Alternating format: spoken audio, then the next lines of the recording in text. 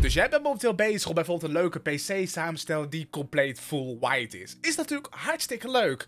Maar welk moederbord moet je dan kiezen? Ik heb hier een moederbord waarvan ik denk dat je er wel echt heel happy van wordt als je dit ook combineert met een Intel CPU. Laten we even kijken. Dit hier is de Gigabyte Z790 Oris Elite AX Ice. En ik ga eens even vertellen waarom dit nou een heel tof moederbord is. Heb je net je nieuwe PC gebouwd en blijft Windows maar piepen over dat hij geactiveerd moet worden? Dat kan heel makkelijk gefixt worden. Via sdkey.com kun je voor een prikje een key scoren om jouw Windows te activeren. Gooi de gewenste versie in je winkelwagen, vul nog even code VPTT in voor extra korting, even afrekenen en binnen 5 minuten heb jij een key om je Windows mee te activeren. Plak deze dus in je Windows instellingen, klik op activeren en hoppatee, Windows is geactiveerd. Check de link onder deze video en vergeet natuurlijk die code VPTT niet voor extra korting op je aankoop. Ja, dit is hem dus. Dit is dus de Gigabyte Z790 Oris Elite AX Ice. Nou, dit is dus een moederbord die dus net uit is en ze zijn momenteel bezig om steeds meer witte producten uit te brengen. Zo heeft Gigabyte bijvoorbeeld al witte videokaarten, witte koelers en ook nog eens witte voedingen en nu ook nog eens witte gaming moederborden. Dit moederbord is gemaakt voor de nieuwste Intel Core processors van de 14e generatie, maar het kan ook nog eens werken met de 12e en 13e generatie Intel Core CPU's. En dit komt omdat dit moederbord socket 1700 heeft en ook nog eens het Intel Z790 chipset. En dit maakt dus ook mogelijk dat dit moederbord ook backwards geschikt is voor bijvoorbeeld de 12e of 13e generatie CPU's. Op het gebied van geheugencapaciteit laat dit moederbord weinig te wensen over. Het ondersteunt namelijk tot maximaal 192 GB RAM en ondersteunt ook maximaal 7600 megatransfers per second dankzij XMP.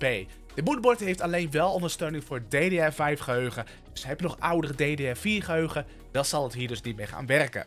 Voor je videokaart biedt het moederbord een PC Express 5.0 x16 slot, aangevuld met extra slots met PC Express 4.0 x4 en PC Express 3.0 x4. En hier kun je bijvoorbeeld dus je capture card gaan installeren of bijvoorbeeld een aparte geluidskaart als je dat wilt. Voor opslag, zowel SSD's als harde schijven kan je hier dus gaan installeren. Je hebt hier de mogelijkheid om 4 M.2 SSD's te gaan plaatsen op PCI Express 4.0 X4 en je hebt eventueel ook nog eens de mogelijkheid om 6 keer een harde schijf te plaatsen of eventueel een oude 2,5 inch SSD.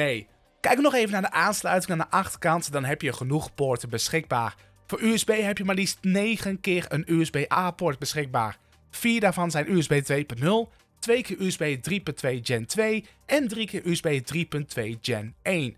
USB-C is hier ook te vinden en deze heeft een maximale snelheid van USB 3.2 Gen 2 X2. En dat staat eigenlijk gelijk aan 20 gigabit per seconde. En dat is twee keer zo snel als eigenlijk de rode USB-poorten die hier te vinden zijn. Voor de rest hebben we ook DisplayPort 1.2, HDMI 2.0, een 2,5 gigabit netwerkpoort, de audio jacks, SPDIF en de Wi-Fi 6E en Bluetooth antenne aansluitingen. Het moederbord is ook nog eens krachtig genoeg om de processor extra power te geven als dat nodig is. Gigabyte heeft hier een 16 plus 1 plus 2 Faces Digital VRM voor geplaatst.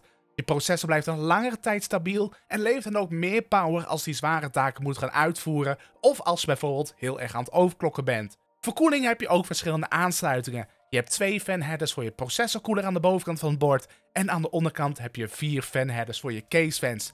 Een van deze case-fan headers is ook nog eens geschikt voor de pomp van je waterkoeling. Het installeren van M.2 SSD's is ontzettend makkelijk gemaakt. Schroef de heatsink los, klik de SSD erin, duw het aan en dan zit het dan ook vast. Geen gedoe met extra schroefjes voor je MP2 SSD en dit scheelt toch wel wat tijd met installeren. En ook is dit te vinden bij je videokaart. Soms moet je diep met je vingers gaan zitten om je videokaart los te kunnen halen.